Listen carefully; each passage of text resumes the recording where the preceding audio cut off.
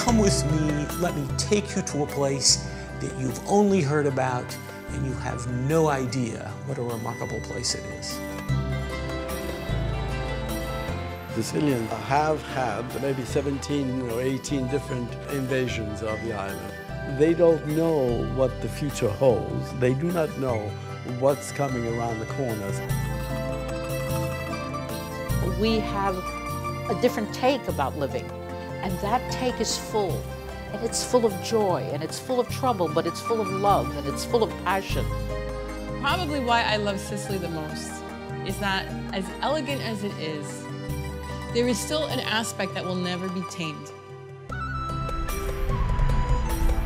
Well, it's precarious having volcanoes all around, but what volcanoes do is provide the most fertile soil there is. Food is not about nourishing you.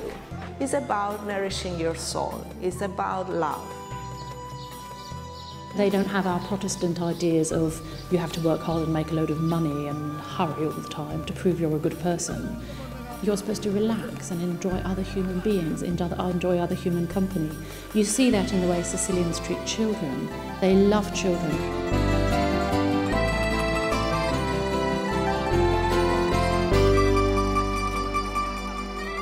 This is not a movie. This is something we confront every day. So sometimes people forget that Sicilians are mostly the victims of the mafia.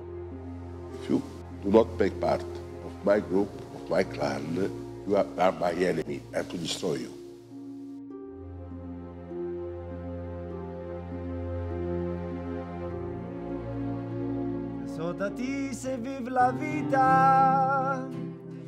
It is all part of this magical place.